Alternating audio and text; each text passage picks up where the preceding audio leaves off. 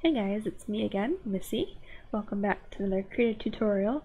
Today I'm going to be going over another feature of Krita, which is similar to other programs as well, which is the palette.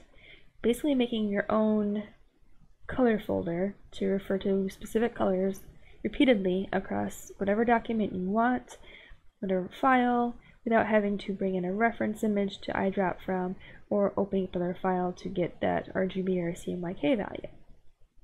So to start off, I'm going to point out that the advanced color selector here in the right corner, or wherever you have it on your layout, it's really useful when you have all of these colors here on the right side because every time you pick a new color to use, it shows up. However, when you're doing colors that are going to start blending and uh, from like light to dark, it can be a little frustrating having to pick the right color again, like especially if two values are very close. And you can eyedrop it, but if you're shading, you might eyedrop like a pixel or just, just off the mark, and it might not be exact. And if you're really, really specific about the colors you're using, then you don't want to risk any error. So to avoid that, we're going to go to Settings, Dockers, and Palette, right here. And this little docker comes up. Now this is the default color scheme, or color palette that it's going to give you. It's very simple, very basic. That's great. Now if we choose the palette here, this little icon with three bars, we have other palettes we can choose from that are with created by default. We have a marker, which has um, pretty nice values. The default, again, the gradients, we have gradients of numerous colors here, pretty much all across the color wheel, which is very, very helpful. And then there's a couple others that you can check out for yourself. However, that's not going to help us because we want to make our own. So we're going to make a new one called, well, I'm going to call it Tutorial Color Palette, but you can call it whatever you want. And for columns, as you can see here, it's just you can put as many columns as you want. Um, so I'm just going to keep it at 10 now, and we're going to hit save. So now that I scroll to the bottom, I have my tutorial color palette, but I don't have any colors in there yet. So we're going to go ahead and start adding those colors. So let's say I like this blue, it's, it's nice and pretty, pastel whatever. I want to add that. So to do that, I want to click this plus icon. Group is default. The IDA, I'm going to leave it at, at 1, but if you have a specific name, you can name it if you'd like uh, right here. And the color, so if I want to edit this color, like, yeah, I like that blue, but I want to make it a little bit darker, I can do that right before I save that color. And then spot, it's not a spot color, so I'm going to just hit OK. Now it does take a, a, minute for it to update, so just to make it go faster, I'm just going to switch to another palette and go back to my custom one I made. And there it is. Now that I have that color, I want to start adding a couple more. So I like this salmon color, so we'll add that. We'll add that one as well. So as you can see, I'm starting to add more of these colors.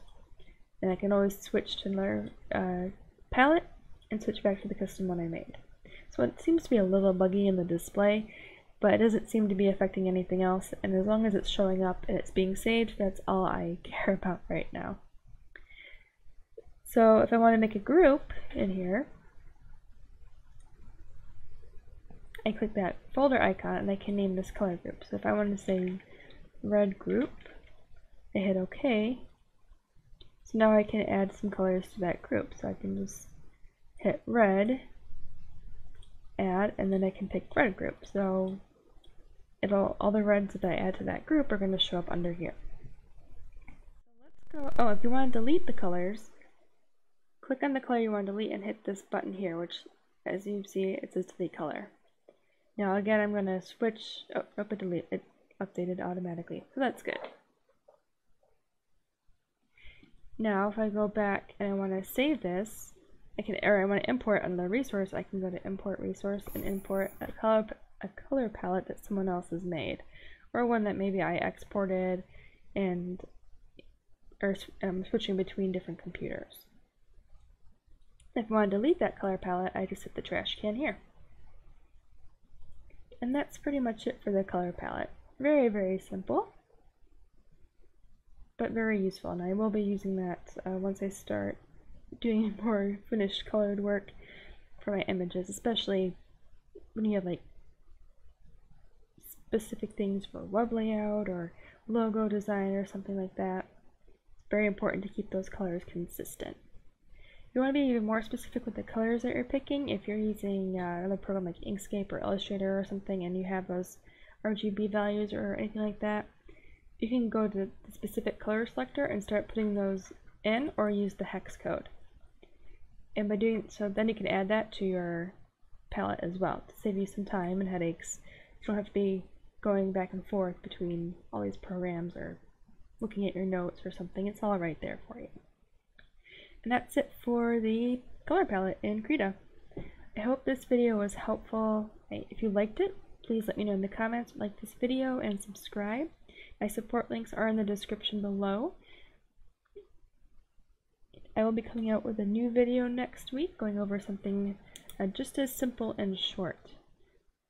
Hopefully these videos stay short going forward because I know they can get a little long. Again, thank you for your support and I will see you guys in the next video.